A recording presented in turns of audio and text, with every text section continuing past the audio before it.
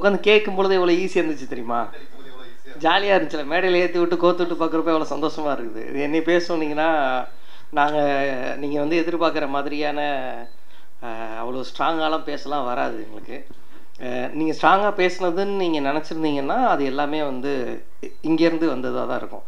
நான் ஜாலியாக கமெண்ட் அடிக்கிற ஒரு ஆள் தான் எனக்கு வந்து இந்த மாதிரி ஒரு சடங்கு மேலே இருந்த கமெண்ட்டை நான் வச்சுக்கிட்டே போய்கிட்டே இருந்தேன். அதில் இவர்கள் பேசின அரசியல் என்னை சுற்றி இருந்த நண்பர்கள் கொடுத்துருந்த அரசியலில் வந்து அது அந்த அந்த இடத்த பிடிச்சிக்கிச்சு நினைக்கிறேன். கிராஃப்டாக இதை பெட்டராக பண்ணுங்கிறது தான் எங்களுக்கு இருந்த ஃபர்ஸ்ட் ஐடியா ஏன்னா இது ஒரு ஒரு இந்த மாதிரி ஒரு கதை ஒரு பெண் குழந்தை குறித்த கதை இந்த மாதிரி சடங்குகள் சம்மந்தமான கதை இது எல்லாமே வந்து இவ்வளோ சடங்குகளையும் அதில் ஒன்றா போட்டு லிஸ்ட்டை போட்டு இதெல்லாம் காலி பண்ணுறோம் இதெல்லாம் காலி பண்ணுறோம் இந்த வசனத்தை வைக்கணும் அப்படின்றதுனாலலாம் லிஸ்ட்டு போட்டு எதுவுமே நாங்கள் பண்ணலை. ஒரு ஒரே ஒரு பெண் குழந்தைக்கு ஒரு கல்யாணம் நடக்குதுங்கிற செய்தி எனக்கு தெரிய வர்றதுக்கு முன்னாடி நானும் வந்து குழந்தை திருமணம்லாம் நம்ம ஊரில் நடக்கலை அப்படின்னு தான் நானும் நினச்சிக்கிட்டு இருந்தேன். எனக்கு அது இனியவன் சொன்னதுக்கு பிறகு அந்த மொமெண்ட்லேருந்து அந்த கதை வேகமாக ஆரம்பிச்சிச்சு. இது மாதிரி நடக்குது அப்படின்னு சொன்னார். அப்போ அந்த பொண்ணு ஒரு வேளை வயசுக்கு வந்த உடனே தான் கல்யாணம் பண்ணி வைக்கிறாங்க. வயசுக்கு வந்ததே அந்த பொண்ணு சொல்லலைன்னா வெளில தெரியாதுல்ல. இல்லைனா இவங்க எப்படி கல்யாணம் பண்ணி வைப்பாங்க? அந்த பொண்ணு மறைச்சிட்டா எப்படி பண்ண முடியும்? அந்த பொண்ணுகிட்ட போய் எப்படி கண்டுபிடிக்க முடியும்? அது இப்போ ரொம்ப பர்சனலான விஷயம் இல்லையா? எப்படி கண்டுபிடிப்பாங்க அப்படின்னு யோசித்தப்போ இதில் ஏதோ கதை இருக்கிறதா? எங்களுக்கு எனக்கு எனக்கு வந்து ஒரு ஸ்பார்க் தான். ஒரு ஒரு மொமெண்ட்டு ஒருத்தர் பேசின ஒரு மொமெண்ட் ஒரு ஸ்பார்க்கு ஏதோ ஒரு வரி. ஏதோ ஒரு ஷாட்டு வேற ஒரு படத்தில் இந்த கேரக்டர் இப்படி பரட்டி போட்டால் நல்லா இருக்குமே அப்படிங்கிறது. அப்படிலாம் சுட்டு தான் நம்ம பண்ணுவோம் இல்லையா? அப்படி தான் ஆரம்பிப்போம். பட் அப்படி இதுவும் வந்து இந்த மாதிரி ஒரு மொமெண்ட்ல இருந்தால் வந்து ஸ்டார்ட் ஆச்சு. இப்படி எழுத ஆரம்பிப்போம் அப்படின்னு எழுத ஆரம்பிச்சது தான். அப்புறம் அந்த ஃப்ளோவில் ஒரு பொண்ணு வயசுக்கு வந்துட்டா அவளோட கல்வி மறுக்கப்படுது அப்படிங்கிற இடத்துல அந்த ஃப்ளோவில் என்னென்னலாம் டிஸ்டர்பன்ஸாக இருக்குன்னு யோசிச்சோமோ அது எல்லாத்தையும் எதிர்க்க விரும்பணும் அது தானாக எல்லாமே வந்து அதில் சேர்ந்துச்சு. ஏன்னா அது ஒன்றும் ஏதோ ஒரு இண்டிவிஜுவலோட குறை இல்லை. அந்த பொண்ணை வந்து கல்யாணம் பண்ணி வைக்கணுங்கிறது அந்த அப்பா அம்மாவோட தனிப்பட்ட முயற்சி இல்லை. புதுக்கோட்டையில் மட்டும் நடக்கிறது இல்லை புதுக்கோட்டை மட்டும் தமிழ்நாட்டின் உத்தரப்பிரதேசம் கிடையாது. இல்லையா? தமிழ்நாடும் உத்தரப்பிரதேசம் தான் தெரியாத பல மறைவுகளுக்கு பின்னாடி அங்கங்கே இருக்குது. தமிழ்நாட்டின் மறைவான உத்தரப்பிரதேசங்களை நம்ம கண்டுபிடிக்கணும் அப்படிங்கிறது தான் அதுக்குள்ளே இருந்த விஷயம். ஸோ அப்போ எடுத்து போட்டு நாங்கள் அப்படி செய்யும் பொழுது தானாக வந்து அந்த குடும்ப அமைப்பு எப்படி இருக்குது பக்கத்தில் இருக்க உறவினர்கள் எப்படி அதை எடுத்துப்பாங்க? சமுதாயமாக இருக்கிற அந்த குழுக்களாக சேர்ந்து எப்படி அதை அதை பண்ணுறாங்க அதுக்கு பிறகு கடவுள் நம்பிக்கை சடங்குகள்ன்ற பேரில். இதெல்லாம் தானாக வந்து போகுது. நான் முடிஞ்ச வரைக்கும் முயற்சி பண்ணது அதான் ஒரு பொண்ணு அவள் ரொம்ப இயல்பாகவே இயற்கையாகவே ஒரு ஒரு புரட்சிகர உணர்ச்சி கொண்டவ அப்படிங்கிறதெல்லாம் இல்லாமல் அவளுக்கு இருக்கிற சூழல் தான் அவள் என்ன தேர்வு எடுக்கணுங்கிற முடிவை முடிவு எடுக்குது. அவள் அதுக்குள்ளே போய்த்தா அவள் மைதிலி ஆயிடுறான் தனக்கு வந்த சூழலை எதிர்க்க முடியாமல் அல்லது எதிர்க்கிற வாய்ப்பு கிடைக்காம அவள் அப்படியே ஏற்றுக்கிட்டானா அவள் மைதிலியாவோ கைல்வெளியாவோ மாற வாய்ப்பு உண்டு அவளுக்கு. அவ்வளோ குருவமாக தான் இது தமிழ் தான் குருவமால் தமிழ் தான் கைல்வழியோட அம்மா கைல்வழி எல்லா பெண்களும் தமிழ் தான். இந்த வாய்ப்பு கிடச்சிருந்தா அந்த பெண்களும் தமிழாகவும் மாறி இருக்க வாய்ப்பு இருக்குது அவ்வளோதான் தமிழ்ங்கிற ஒரு ஸ்பெஷல் கேரக்டர் கிடையாது. ஸோ அப்படி தான் நாங்கள் முயற்சி பண்ணோம். என்னென்ன லைஃப்பில் ஃபேஸ் பண்ணுறா ஃபேஸ் பண்ணும் பொழுது எப்படி அதுலேருந்து வெளியில் வர்றதுக்கு அவள் முயற்சி பண்ணுறாங்கிறத அவளோட பாயிண்ட் ஆஃப் வியூவில் சொல்லணும்னு நினச்சோம். அதனால வெளியிலேருந்து யாருடைய மிகப்பெரிய உந்துதலோ யாருடைய மிகப்பெரிய புரட்சிகர வசனங்களோ அவள் அவள் மனசுக்குள்ளே இருக்க வேண்டாம். என்னையை பொறுத்த வரைக்கும் சுதந்திரங்கிறது பிறப்பு உணர்வு. உரிமையெல்லாம் இல்லை. பிறக்கும் பொழுதே உ- சுதந்திர உணர்வும் சேர்ந்து தான் பிறக்குது. எத்தி தள்ளி தானே பிறக்கிறோம். தடுக்கக்கூடாதுன்னு. அப்புறம் என்ன? அப்போது அது இயல்பாகவே இருக்கும். நீங்கள் ரொம்ப நேரம் குழந்தையெல்லாம் அடைக்கலாம் வைக்க முடியாது. ஃபஸ்ட்டு கதை கதப்பாக இருக்கும். அப்புறம் தள்ளி விட்டுரும். குழந்தை சத்தம் போட ஆரம்பிச்சிடும் ஸோ அப்போ எல்லா லெவல்லையும் நீங்கள் ஒரு லெவலில் அது பாதுகாப்பு நீங்கள் வச்சாலும் அந்த குழந்தைக்கு எப்போ அந்த பாதுகாப்பு உணர்வு வந்து தன்னுடைய தன்னுடைய கை காலை ஈஸியாக அசைக்க முடியாத அளவுக்கு தொந்தரவாகுதோ அந்த குழந்தை அதுலேருந்து வெளியில் வர துடிக்கும். அப்போ அது இயற்கையாக இருக்கிறது தான். ஸோ அது இயற்கையாகவே வரணும்னு நான் முயற்சி பண்ணேன் ஒரு புத்தகத்தை படித்து தான் வரணுன்றது இல்லை இப்போ பெரியார் சொன்னார் பெரியார் யார் சொல்லியிருப்பா? இப்போ வேறு ஏதோ பேர் எனக்கு தெரியாத பேர் அவருக்கு யார் சொல்லியிருப்பா? அவருக்கு அவருக்கு அவருக்கு அவருக்கு அவருக்கு அவருக்குன்னு போயிட்டே இருந்தா. அதுக்கு எண்ட்லெஸ்ஸாக போயிடும். அப்போது அடிப்படையில் ஒரு உணர்வு இருக்க போய் தான் பெரியார் சொன்னதை என்னால் ஏற்றுக்க முடியுது. பெரியார் சொன்னது இன்னும் இருக்குல்ல கோடிக்கணக்கான பேர் பார்த்துருக்கோம்ல எத்தனை பேர் பெரியார் சொன்னதை ஏற்றுக்கிட்டோம் நான் பெரியாருங்கிற ஒரு எக்ஸாம்பிளாக சொல்கிறேன் எல்லா புரட்சியாளர்களையும் சொல்கிறேன் அப்போ அடிப்படையில் நமக்கு ஒரு உணர்வு இருக்க போய் தான் எந்த ஒரு புரட்சியாளரோட கருத்தும் நமக்கு வந்து சேருது. அப்போ உணர்வை தான் பேசணும்னு நான் நினச்சேன். அவங்க நாளைக்கு யாரை வேணால் ஃபாலோ பண்ணிக்கிட்டோம். அவங்க கடவுள்களை சொல்கிறவங்கள கூட ஃபாலோ பண்ணிக்கிட்டோம். ஆனால் சுயமரியாதையோட தன்னோட சொந்த முடிவை தான் எடுக்கணுங்கிற உணர்வு ஒரு ஒரு ஒருத்தவங்களுக்கு அடிக்கும் நீங்கள் கடவுளை கும்பிடுங்க கும்பிடாதீங்க ஃபாலோ பண்ணுங்க பண்ணாதீங்க அது அவசியம் இல்லை. ஸோ இந்த மாதிரி எந்த என்னுடைய பர்சனல் கருத்தையும் அதில் நான் சொல்ல விரும்பலை. முழுக்க முழுக்க அந்த பொண்ணோட கதையாக மட்டுமே இருக்கும்னு நினச்சேன். ஒருவேளை அதனால தான் எல்லாருக்கும் கனெக்ட் ஆகுதோ அப்படின்னும் தோணுது. எனக்கு இருந்தது நான் இப்போ சொல்லிட்டு இருந்தேன். நார்மலாக வந்து ஒரு சினிமாவில் வேலை செய்யும் பொழுது பெரிய விஷயங்களை பண்ணிக்கிட்டு இருக்கும் பொழுது ஒரு ஒரு உமன் டெக்னீஷியன்ஸ் இருக்காங்க அப்படின்னா ஒரு பெண்ணாக இருந்து நீங்கள் இதை எப்படி செஞ்சீங்க? அந்த கேள்வியை நான் நிறைய கேட்டிருக்கேன். முதல் முறையாக ஒரு ஆணாக இருந்து நீங்கள் எப்படி செஞ்சுருக்கீங்க கேள்வி நான் வந்து சந்திக்கிறேன். அது கொஞ்சம் நல்லா தான் இருக்குது ஏன்னா அந்த தயக்கம் எனக்கு முதல்ல இருந்தது. நம்ம இதை செய்கிறோமே இது சரியாக இருக்குமா அப்படின்னு. நான் ஒரு ஒரு ஃப்ளோ ஒரு டிராஃப்ட்டை முடித்து நானும் வினை மிந்தனும் சேர்ந்து ஒரு டிராஃப்ட்டை முடித்து நாங்கள் எல்லாத்தையும் எழுதி முடிச்சுட்டு அதை அது நாங்களாக எடுத்த முயற்சி தான். நாங்களாக கொண்டு போய் பிச் பண்ணணுங்கிற இடத்துல இருக்கும்பொழுது தான் நான் வந்து தோழரோட ஆவணப்படத்தை டிஸ்கவரியில் பார்க்குறேன் பார்த்துட்டு எனக்கு இது வந்து ஓகே நம்ம வந்து அவேவாக யோசிக்கலை. நம்ம வந்து ஒரு பெண் குழந்தையோட குழந்தைத்தன்மைன்னு நம்மளா வந்து சினிமாட்டிக்காக யோசிக்கல. அவங்களுக்கு பருவமடைதரை பற்றின குழப்பம் இருக்குது. அவங்களுக்கு புரி புரிதல் இல்லாமல் இருக்குது. இந்த மாதிரி நிறைய விஷயங்கள் வந்து ரியல் ஏன்னா அவங்க எடுத்திருந்த டாக்குமெண்ட் வந்து ரெண்டாயிரத்தி பன்னெண்டில் எடுக்கப்பட்டது. அது நான் பார்த்தது பதினாறுலையோ பதினேழுலையோ பார்த்தேன். நாலஞ்சு வருஷம் கழிச்சு நான் அதை பார்த்தேன். அப்போது அப்போ கரண்ட்டில் அது இருக்குது நம்ம யோசித்தது வந்து தப்பு இல்லை. ஓகே ஓரளவுக்கு ரிலவெண்ட்டாக தான் இருக்குது எனக்கு முழுக்க இதை ஒரு சினிமாவாக பண்ணணும். ஐ மீன் நாட் ஓன்லி இதை வெப் சீரிஸுங்கிற அந்த டேர்மில் சொல்லலை ஒரு சினிமா மாதிரியான ஒரு ஒரு என்ஜாயபிள் மீடியமாக தான் அதை கொண்டு போகணுன்னு தான் ஆசை இருந்ததே தவிர ஒரு யாருக்கும் தெரியாத ஒரு விஷயத்தை நான் கண்டுபிடிச்சிட்டேன். அதனால் இதை கொண்டு போய் நான் வந்து பண்ணிடணும் அப்படிங்கிற நோக்கம் எனக்கு இல்லை. ஏன்னா நான் சொல்கிற எதையுமே நான் சொன்னதாக நான் நினைக்கல. எனக்கு முன்னாடி இருந்த பல பேருடைய சிதறல்களோ எங்கெங்கேயோ தேடி வந்திருக்கோம். அதில் நம்ம சில வார்த்தைகளை பரட்டி போட்டு யூஸ் பண்ணியிருக்கோம் அவ்வளோதான் அப்போது என்னை முன்னிலைப்படுத்துறதை விட அதை குழந்தையை முன்னிலைப்படுத்துறது பெட்டராக இருக்கும் அப்படின்னு எனக்கு தோணுதுனால அது ஈஸியான ஒரு மொழியாக இருக்கணும்னு நான் நினச்சி பண்ண ஸ்ட்ரக்சர் தான். முடிஞ்ச வரைக்கும் எல்லாமே டெக்னிக்கலாக நாங்கள் பார்த்தது எல்லாமே எவ்வளோ எங்கேஜ் பண்ண முடியும் எவ்வளோ எங்கேஜ் பண்ண முடியும். என்னோடய பர்சனல் அரசியல் க கருத்து என்ன வேணா இருக்கலாம். நாளைக்கு நானும் வந்து முட்டாளாக மாறலாம். ஏன்னா டெய்லி ப்ராக்டிஸ் பண்ணுறது தான் அரசியல். நம்ம சர்டிஃபிகேட் வாங்கி பாக்கெட்டில் வச்சுக்கிறது இல்லை. முற்போக்கலர் இவர் அப்படின்னு. ப்ராக்டிஸ் பண்ணால் தான் வரும். ஸோ நாளைக்கே நானும் வந்து என்னுடைய ஒரு பிற்போக்குத்தனங்கள் வெளியில் வரலாம். அது வரலாம். வரும். வரும். ஸோ அது வந்து பிரச்சனை இல்லை. இல்லை இது இப்போ இப்போ நம்ம இவ்வளோ இது நம்ம சொல்லிட்டதுனால நாளைக்கு வந்து நமக்கே தெரியாமல் குறுக்க ஓடுற ஒரு மாடு கூட பாரு அவன் அதை விட்டுருக்கான். வர வாய்ப்பு இருக்குது ஸோ நான் ஒப்பீனியன் ஏற்றுக்கிறேன் இப்போ எல்லாரும் சொன்னாங்கல்ல நெகட்டிவ் ஒப்பீனியன்ஸு ரொம்ப குறைவாக வருது. அதுவும் கவனிக்க வேண்டியது தான் நான் அதை அத்தனையுமே அக்செப்ட் பண்ணுறேன் ஏன்னா என்னோடய ஒப்பீனியன் நான் சொல்லி முடிச்சிட்டேன். அதுதான் வெப் சீரிஸாக வந்திருக்கு. அதன் பிறகு அதுக்கு மேலே உங்களுக்கு இருக்கிற ஒப்பீனியன் அத்தனையுமே உண்மைதான். ஏன்னா அது உங்கள் ஒப்பீனியன் அதில் நான் தலையிட விரும்பலை. அது உங்களுடைய உரிமை.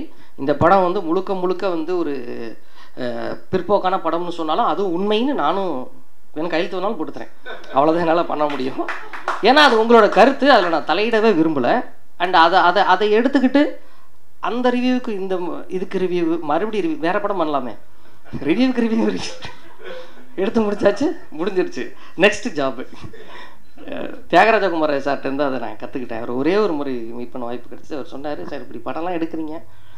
நீங்கள் வந்து உங்களோட பயங்கர லேயராக ஒர்க் பண்ணுறீங்க அப்போ வந்து அந்த லேயர் அப்படியே அச்சசலாக ஒருத்தன் ஒரு ஒரு ஆடியன்ஸ் பார்த்துட்டு நீங்கள் இதை தானே சொல்கிறீங்கன்னு நாலு இடத்துல இருக்க விஷயத்த லேயர் பை லேயராக கனெக்ட் பண்ணி சொன்னால் உங்களுக்கு எப்படி இருக்கும்? அப்படின்னு கேட்டப்ப அதை எதுக்கு நம்ம எடுத்துக்கணும். நம்ம வேலை படம் எடுக்கிறதோட முடிஞ்சு போச்சு. அதுக்கு பிறகு அது பார்க்கறது அவன் விருப்பம் அப்படின்ட்டாங்க ஓகே ஓகே அப்படின்னு தான் அந்த அந்த மனநிலைகளாக இருக்கு இல்லையா? நம்ம அதோட நமக்கு அது வேலை முடிஞ்சிச்சு.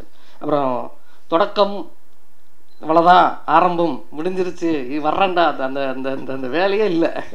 தொடக்கம்லாம் பல பேர் இருக்கிறாங்க. பல பேர் ஆரம்பிச்சிருக்கிறாங்க. ரொம்ப சமீபத்து ரொம்ப சமீபத்தில் எடுத்துக்கிட்டோம்னா நமக்கு ரஞ்சித் ரஞ்சித் சார் இருக்காரு மாரிசெல்வர் சார் இருக்காரு வெற்றிமாறன் சார் இருக்காரு. இன்னும் பல பேர் இருக்கிறாங்க. இது ஆர்ட் ஃபார்மாக இன்னும் இவ்வளோ ப்ரில்லியண்ட்டாக கொண்டு போக முடியும்னா தியாகராஜ குமார் சார் இருக்காரு. ஸோ அவங்க வந்து அடித்து பேசுகிறதா இருக்கட்டும் அந்த மாதிரியான விஷயங்கள்லாம் வந்து இன்னும் இன்னொரு பக்கம் ஓப்பன் பண்ணி விடுது. இப்போ அவங்களும் கிடச்சிடாதுப்பா வேறு ஏதாவது சொல்லுப்பா அப்படின்னா ஓகே அப்போ தான் நமக்கு போகுது. இல்லையா? ஒரு நம்ம இப்படி போயிருந்தோம்னா முதல்ல நம்மள அடித்து உரம் கட்டியிருப்பாங்க. ஓகேவா ஓகே அவங்க கொடுத்த அந்த ஒரு வழி தான் வந்து நமக்கு ஒரு சின்ன கேப்பு உருவாக்குது. அதுக்குள்ளே நம்ம போகிறோம் முயற்சி இருந்தது என்ன? மு பெருசாக முயற்சி பண்ணோன்னா இன்னைக்கு அதை அதை அதை தாண்டி நாங்கள் எதிர்பார்த்ததை விட நடந்திருக்கு. அது மகிழ்ச்சி தான்.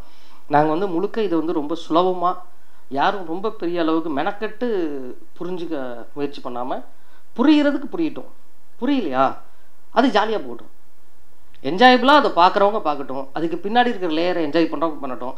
அதுக்கும் பின்னாடி இருக்க குறியீடை பார்த்து இது அதுதானே அப்படின்னு சொல்கிறவங்களும் எடுத்துக்கிட்டோம். அப்படின்னு நாங்கள் அந்த அந்த லேயர்ஸ் வந்து கிளியராக வச்சுருந்தோம். அந்த கிராஃப்ட்டுக்கு தான் நாங்கள் ரொம்ப மெனக்கிட்டோம். பாக்கி எல்லாமே எங்களுக்கு சுலபமாக வந்துருச்சு. ஏன்னா பழகுறோம் தொடர்ந்து பேசிக்கிட்டே இருக்கிறோம். ஒரு ஒரு சம்பவத்துலேயும் நமக்கு தெரியாத சந்தேகங்களை கேட்டு தெரிஞ்சுக்கிறோம். இவங்க எப்படி எழுதுறாங்க? இப்போ இன்றைக்கி நடக்கிற இந்த பொலிட்டிக்கல் சுச்சுவேஷனுக்கு என்னன்னு பேசிப்போம் இது என்ன பதில் சொல்லலாம்? இவர் இப்படி ஒன்று சொல்கிறாரு இதை போட்டு இது தப்புன்னு பேசுகிறாங்களே இவர் நம்மளால் தானே? ஆனால் இதில் பேசல என்ன தப்பு இருக்குன்னு கேட்டு தெரிஞ்சுக்கிறோம். ஸோ ஒரு அரசியலாக பேசுகிறப்ப அதில் என்ன லேயர் இருக்குது அதில் எது சரி தப்பு எந்த பக்கம் தொடணும் எந்த பக்கம் தொடக்கூடாது இதெல்லாமே என்னுடைய தனிப்பட்ட ஒன்றா வர்றதுக்கு எனக்கு வாய்ப்பு இல்லை. ரிஃப்ளெக்ஷன் தான். எல்லாரோட ரிஃப்ளெக்ஷன் தான். அந்த வகையில் டாக்குமெண்ட்ரிஸாக இருக்கட்டும் முன்னாடி புரட்சியாளர்களோட இருக்கட்டும் ஃபேஸ்புக்கில் எழுதுகிற பதிவுகளாக இருக்கட்டும் ட்வீட்டாக இருக்கட்டும் எல்லாமே வந்து அதுக்கு நமக்கு நம்மளை தெரியாமல் நான் தெரிஞ்சதை போட்டுட்டேன். தோப்பா எல்லோரோட பேரையும் நான் போட்டுட்டேன். தெரியாத எவ்வளோ இருக்குது இவன் பேரை நான் போடலை. என்னோட உங்களோட கேரக்டர் பெத்தவன்லேருந்து உருவாயிருக்கலாம். எனக்கு பின்னாடி தோணுச்சு. யாரோ பெத்தவன் கேரக்டர் மாதிரி இருக்கலாம். ஆமாம்ல நம்மளும் படிச்சிருக்கோமே அப்படின்னு எனக்கு தோணுச்சு. உருவாயிருக்கலாம். எனக்கு அந்த பூ எடுத்து போகிற தோப்பாவர்கள்லேருந்து தான் போட்டேன் வச்சுட்டேன். சாத்தமிழ்ச்சரன் எழுதின சாமிகளும் பிறப்பும் விருப்பம் இன்ஸ்பிரேஷன் இருந்துச்சு எழுதிட்டேன். மாதவி குட்டி புத்தகத்தை இந்த பிரிவில் இவ்வளோ தானே படித்தேன் எழுதிட்டேன். தோழரோட டாக்குமெண்ட்ரி பார்த்தேன் எழுதிட்டேன். எல்லாத்தையும் எனக்கு இருந்தது நான் போட்டுட்டேன். அதை தெரியாமல் எப்பயோ சேர்த்து வச்சிருந்ததை எங்கேயோ மூலையிலேருந்து எங்கேயோ ஓரமாக ஓட்டிகிட்டு வந்ததை நான் போடாமல் விட்டுட்டேன். அப்படியும் எல்லாருக்கும் அது சொந்தமானது. இது எல்லாரும் எல்லாரோடைய அரசியல் நான் பேசுகிற அரசியல் இல்லை. இது என்னோட இதில் பேசியிருக்க அரசியல் எதுவும் என்னோட தனிப்பட்ட அரசியல் இல்லை. அதுதான் நான் சொல்ல விரும்புகிறது முடிஞ்ச வரைக்கும் அதை வந்து இலகுவான ஒரு ப்ராடக்டாக கொண்டு போய் சேர்க்கணும். என்ஜாயபிளான ப்ராடக்டாக இருக்கணும் அப்படிங்கிறது. அதுதான். இப்போ மைனர் கூட சொல்லும்போது அவங்களுக்கு இது பற்றி தெரியாமல் இருக்கலாம். அவங்க கடவுள் நம்பிக்கை உள்ளவர்களாக இருக்கலாம். யாராவனா இருக்கலாம். அவங்க வந்து இதில் இதெல்லாம் பேசியிருக்காங்கப்பா அப்படிங்கிறத தாண்டி இது பேசியிருக்கிறது உண்மையாக இல்லையான்னு பேசணும். அதுதான் அவசியம்னு நாங்கள் நினச்சோம். அது அது போய் சேர்ந்துருக்குன்னு நான் நம்புகிறேன் அண்டு இதை சேர்த்ததுக்கு பல்வகையில் எல்லா டெக்னீஷியன்ஸோட உதவிகளும் இருக்குது இப்போ ராம்ஜி சாரோடைய அந்த கிராஃப்ட்டுங்கிறது வந்து இந்த குவாலிட்டிங்கிற ஒன்று இருக்கு இல்லையா? நம்ம இந்த கிராஃப்ட்மேன்ஷிப் பேசும்பொழுது ஒரு ஒரு ஸ்டாண்டர்டுன்னு ஒரு ஒரு ப்ராடக்ட் ஒரு ஸ்டாண்டர்ட் ரொம்ப அவசியமாகப்படும் இல்லைனா ஓகே இவங்களுக்கு இவ்வளோ தான் எடுக்க தெரியுன்றவாங்க அந்த கேமரா என்னமோ யாருக்கோ சொந்தமானது மாதிரி. அதை ஆளு அதை கையெடுக்கிற அந்த மனுஷன் கையில் தானே அது இருக்குது அந்த அந்த மூளை எனக்கு கிடைச்சது வந்து மிகப்பெரிய உதவி. அண்டு ஒவ்வொருத்துக்காகவும் நாங்கள் மெனக்கெட்டிருக்கோம் நிறைய மெனக்கெட்டுருக்கோம் அந்த மெனக்கெட்டு தான் அது கிராஃப்டாக நாங்கள் மாற்ற முயற்சிப்போம் எஸ் இட்ஸ் ஃப்ளாஸ் இருக்குது இருக்கும் இருக்கும். எல்லா பெரிய படத்துலையும் ஃப்ளாஸ் இருக்கும். ஏன்னா அவதாரே நம்ம வந்து குறை கண்டுபிடிக்கிறோம். என்னங்க? ஆ ஆ.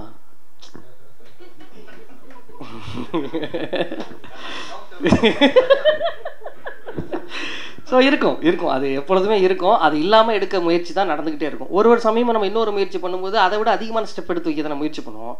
அப்போ அதில் ஒரு ஃப்ளாஸ் வரதான் செய்யும். பட் அது ஃப்ளாஸ்ன்னு சொன்னாலும் நான் ஏற்றுக்க தயாராக தான் இருக்கேன். அது அதுக்கு எனக்கு பெரிய நான் டிஃபெண்ட் பண்ணலாம் விரும்பல. பரவாயில்ல. அது இருந்த ஹெல்த்தியான விஷயங்கள் தான். அண்டு இன்றைக்கி இதை இவ்வளோ தூரம் கொண்டு போய் சேர்த்தது வந்து எல்லோரும் சொன்னாங்க அது தானாகவே போயிடுச்சு. இல்லை. அது அது வந்து இப்போ இவ்வளோ பேர் செயல்பட்டுக்கிட்டு இருக்கிறதுனால தான் அவங்களுக்கு அது அதை அதை அவங்க கொண்டு போய் சேர்க்கறதுக்கு இது ஈஸியாக இருக்குன்னு நினைக்கிறாங்க. நான் இது வந்து யாரும் செயல்பட ஆரம்பிக்கல. ஓகேவா? அதுதான் நான் பார்க்குறேன் எனக்கு வந்து இது வந்து ஒரு பயங்கரமான இது அப்படிலாம் சொல்லும் பொழுது நம்ம அப்படி ஒன்றுமே பண்ணலையே இவங்க எதுக்கு இப்படிலாம் சொல்லிட்டு இருக்காங்கன்னு தோணும் ஏன்னா நமக்கு முன்னாடி பண்ணவங்களுடைய அந்த சின்ன சின்ன விஷயங்கள் ரொம்ப லிக்விஃபைட் பண்ணி நம்ம சொல்லியிருக்கோம். ரொம்ப சாஃப்டாக சொல்லியிருக்கோம். களத்தில் செயல்பட்டுக்கிட்டு இருக்கிறவங்களுக்கு இது ஏதோ ஒரு வகையில் ஹெல்ப்ஃபுல்லாக இருக்குங்கிறது தான் என்னால் முடிஞ்சது. கேட்கும் பொழுதுலாம் இது சமூகத்தில் ஏதாவது தாக்கத்தை ஏற்படுத்தணும்னு நினைக்கிறீங்களா? மாற்றத்தை ஏற்படுத்தணும். ஏங்க, எல்லாம் தொங்கு ஃபோட்டோ தொங்குறவங்களாம் எனக்கு இருக்கு போயிங்களா எவ்வளோ போராடி இருக்காங்க? இது இது இது அப்படி ஒரு ந- நம்பிக்கை எனக்கு இல்லை. எனக்கு என்னன்னா அப்படி செயல்பட்டுட்டு இருக்காங்கல்ல அவங்களுக்கு ஏதோ ஒரு வகையில் வந்து கொஞ்சம் அவங்களுக்கு ஒரு நன்றி. நம்மளால் அதை பார்த்து வந்திருக்கோம். அப்போ அது அவங்களுக்கு செலுத்துகிற ஒரு ஒரு சின்ன கடமையாகவும் அதன் அதை தொடர்ச்சியாக இன்னமும் இங்கே ஃபோட்டோவாக மாறாமல் இருக்கிறாங்கல்ல அவங்களுக்கு ஏதோ ஒரு சின்ன சப்போர்ட்டிவாக ஏதோ ஒரு ஏதோ இப்போ என்னை பேச விடாங்கடா இருந்தாடா ஒரு நாலு மணி நேரத்துக்கு ஒன்று இருக்குடா கொஞ்ச நேரம் பார்த்துக்கலாம் அவங்களுக்கு கொஞ்சம் ஓய்வு கிடைக்கும்ல. அவ்வளோதான் நம்ம எடுக்கிற முயற்சின்னு நான் நினைக்கிறேன். ஸோ அதுதான் இந்த இடத்துல சப்போர்ட் பண்ணுது. அடுத்த படத்தில் இதுக்கு நேர் எதிரானதாகவும் இருக்கலாம். என்ஜாய் பண்ணுங்கள் கேட்டால் நல்லா இருக்கும்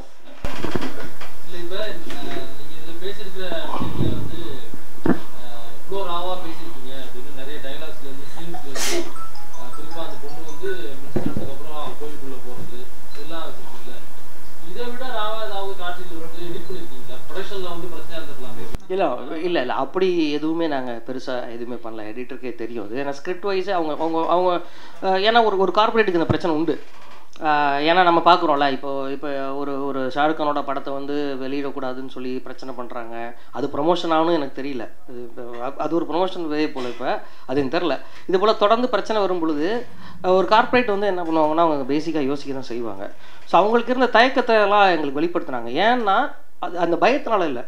எனக்கு இந்த கண்டென்ட் டீமில் இருந்த ஷாம் இருக்கட்டும் விவேக் இருக்கட்டும் பிரசாந்த் அண்டு கௌசி இவங்க சுஜி சார் எல்லாருமே சொல்ல வந்தது என்ன அப்படின்னா நிறைய நல்ல விஷயங்கள் இருக்குது ஏதோ ஒரு சின்ன சின்ன இந்த பிரச்சனைகள்னால இதில் ஏதாவது பிரச்சனை வந்து இது போய் சேர்ந்துடாமல் இருந்துடக்கூடாது.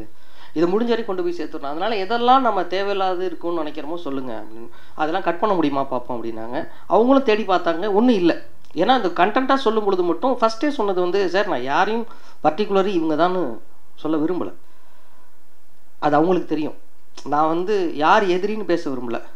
நீங்கள் எதை எதிர்க்கணும்னு பேச விரும்புகிறேன் ஸோ நீங்கள் முடிவு பண்ணிக்கங்க. அதை. அதை ஃபாலோ பண்ணிட்டு இருக்கிறோம் உனக்கு தா ஆட்டோமேட்டிக்காக எதிரியாக போகிறான் அவ்வளோதானே நீ எதை எதிர்க்கணும்னு மட்டும்தான் நான் காமிக்கிறேன். எதிர்க்க தயாராக இருக்கிறவங்க சேர்ந்துக்குங்க. இல்லை நான் அதை தான் ஃபாலோ பண்ணுறான்னா அவன் தான் உனக்கு தெரிஞ்சு எதிரியாக இருப்பான். ஸோ நாங்கள் அதை அதை பேச விரும்பாததுனால அந்த பிரச்சனை அதுக்குள்ளே இல்லவே இல்லை ஏன்னா என்னோட இன்டென்ஷனே அது இல்லை. நான் சொல்லும்போது திரும்ப திரும்ப சொன்னேன். எனக்கு இன்டென்ஷனே அது இல்லை. இன்டென்ஷன் இருந்தால் தானே அது எழுத்தில் வரும்.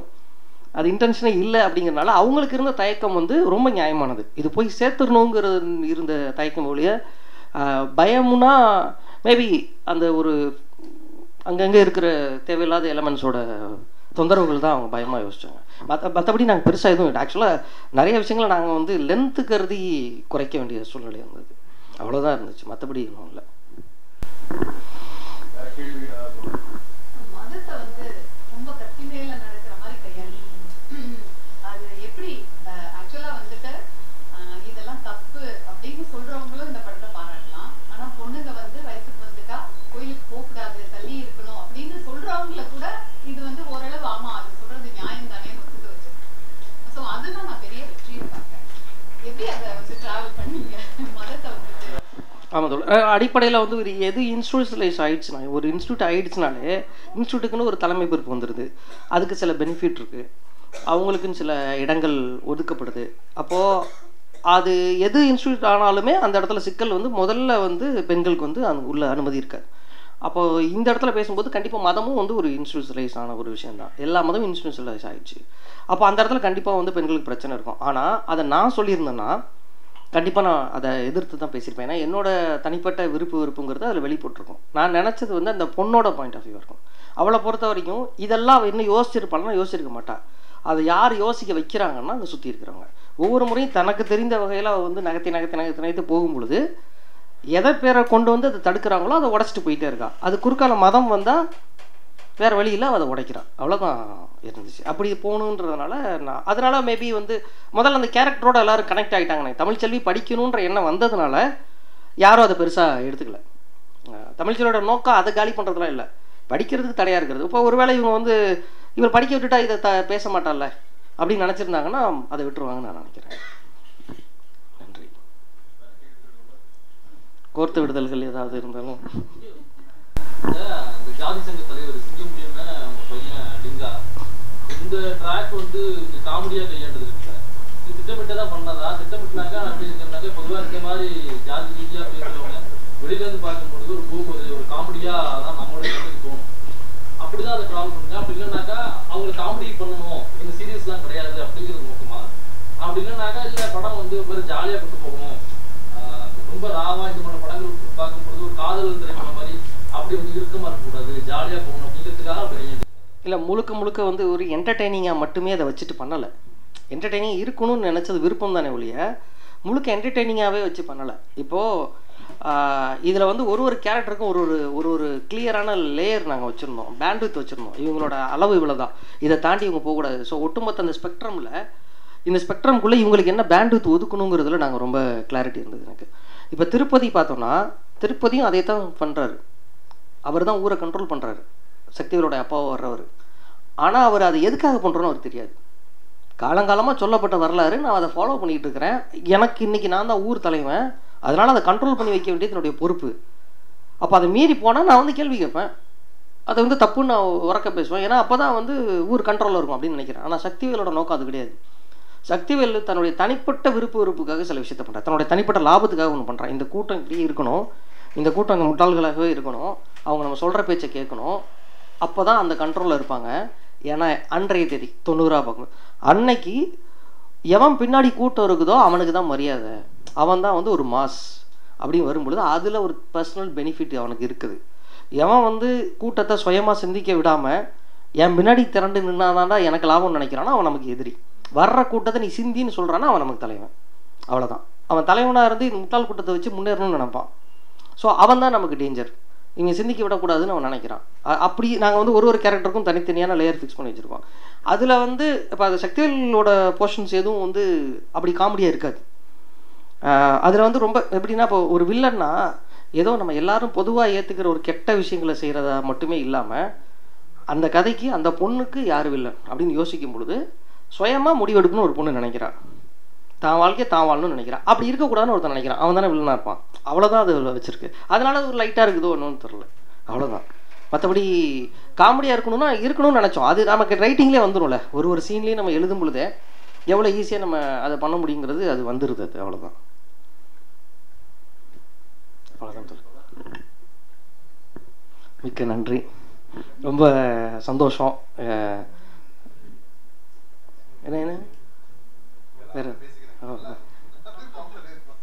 இல்லை இல்லை இல்லை இல்லை ரொம்ப சந்தோஷம். இவ்வளோ தூரம் இப்போ கேட்டதுக்கும் அண்டு விஷயங்களை கேட்டு தெரிஞ்சுக்கிட்டதுக்கும். ஏதாவது உங்களுக்கு நெகட்டிவ் ஸ்டோன்னாலும் சரி அல்லது டிஃப்ரென்ஸ் ஆஃப் ஒப்பீனியன் இருந்தாலும் சரி சந்தோஷமாக வெளிப்படுத்துங்க. நன்றி.